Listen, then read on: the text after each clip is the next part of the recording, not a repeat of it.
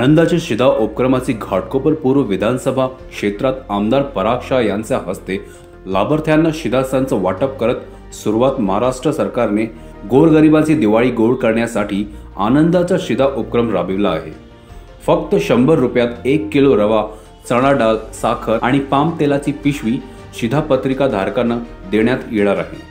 या उपक्रमाची सुरुवात संपूर्ण महाराष्ट्रात झालेली असून घाटकोपर पूर्वमध्ये आमदार श्री पराग शाह यांच्या हस्ते लाभार्थ्यांना त्यांचा विधानसभा क्षेत्रातील विद्याविहार पूर्व येथील शिधा वाटप केंद्रातून वाटप करण्यात आले.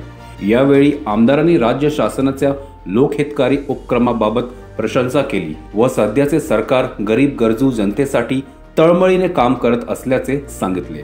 गेली दोन वर्षे कोरोनामुळे जनतेने कोणतेही सण साजरे केले नव्हते. त्यामुळे जनतेला दोन वर्षातील दुःख त्रास विसरून आनंदाने सण साजरे करावेत असे आमदारांनी आवाहन केले. लाभार्थ्यांनी सीधा सणचा मेळाव्याबद्दल उपस्थित मान्यवरांचे आभार मानले. या कार्यक्रमाप्रसंगी श्री रवी पूज श्री विकास कामत श्री अजय बागल श्री जय देसाई श्री राजू बर्गे श्री अविनाश जाधव श्री रत्नम देवेंद्र श्री विद्युत काझी श्री सुशील गुप्ता श्री उमेश वर्मा श्री गणेश चाळके श्री जयंती भानुशाली श्री विलेश शाह सहाय्यक नियंत्रक अधिकारी श्री रामकृष्ण कांबळे शिधा वाटप अधिकारी श्री चैतन्य वानखेडे सहाय्यक शिधा वाटप अधिकारी श्री कैलास कुलकर्णी आणि त्यांचे सहकारी तसेच भाजप मान्यवर पदाधिकारी व कार्यकर्ते मोठ्या संख्येने उपस्थित होते. पूरे मुंबई के लोगों को और भारतवर्ष के लोगों को धनतेरस की दीपावली की बहुत बहुत शुभकामनाएं दे रहा हूँ। सरकार ने शिंदे फडणवीस सरकार ने ये जो स्टेप लिया है, ये प्रूव कर रहा है कि ये गरीबों की सरकार है और गरीबों के लिए हमेशा ध्यान रखने के लिए खाली चुनावी घोषणाएँ नहीं, बट हमेशा जैसे अभी कोविड गया था, दीपावली है, या हिंदू धर्म के जितने भी त्यौहार है बहुत ही खुशी के साथ मनाए जा रहे हैं। और मैं एक नाथ शिंदे जी का, देवेंद्र फडणवीस जी का और सभी पार्टी के वरिष्ठों का मैं आभार मानता हूँ कि जिन्होंने ये हर गरीबों की दिवाली भी, अमीरों की दिवाली जैसी ही रहे, हर लोग अपने घर पे मिठाई बना सके, हर लोग के घर में खुशी रहे। उसके लिए आज जो सौ रुपये में जो पैकेज बनाया है, मैं इसके लिए सरकार को धन्यवाद करता हूँ और ये बहुत ही अच्छा स्टेप है। धन्यवाद।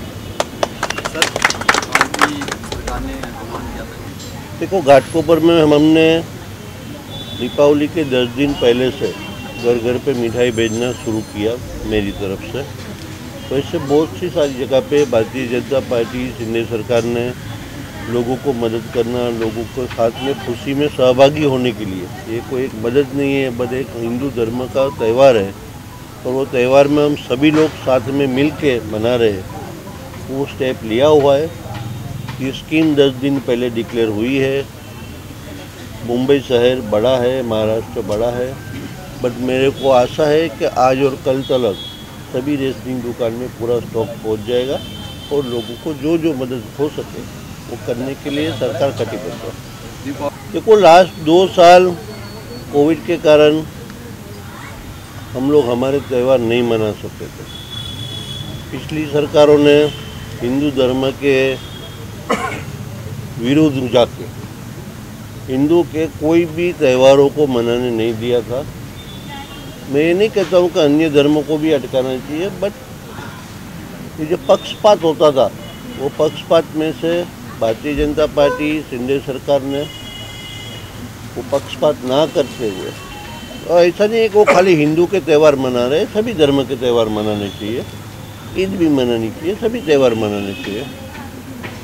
और ये साल पूरे हर, हर्षोल्लास से गणपति का त्यौहार बोलो, गुड़ी पड़वा का प्रोग्राम बोलो, नवरात्रि बोलो अभी दिवाली है, सभी लोग खुशी खुशी मना रहे। हैं और ये डबल खुशी से मनाने का एक ही रीज़न है कि गए दो साल लोगों की याद शक्ति में से निकल जाने चाहिए जो पेंडेमिक के ईयर्स थे तो हमें निकालना है और हमें वापस वही हर्षोल्लास से खुशी से जीना है। सर देवेंद्र फडणवीस। हिंदू सरकार आई है और हिंदू सरकार रहेगी तो हिंदुस्तान है। मैं तो प्राइम मिनिस्टर देवेंद्र फडणवीस एक नाथ शिंदे जी और प्रेसिडेंट को लेटर भी लिखने वाला हूँ। कि जैसे नामकरण हम किए जा रहे हैं। इंडिया इंडिया कौन लेके आया? ब्रिटिशर्स। ये हिंदुओं की भूमि है, हिंदुस्तान देश का नाम है। हमें वापस इंडिया को भी हिंदुस्तान में कन्वर्ट करना चाहिए। और हिंदुस्तान में ऐसा नहीं है कि हिंदू को ही रहना है। हिंदू धर्म बहुत बड़े दिल वाला। सभी धर्म का आदर करता है और साथ में सभी को रहने का छूट है। बट जो हिंदुओं की भूमि है, उसको बुलाया नहीं जा सकता।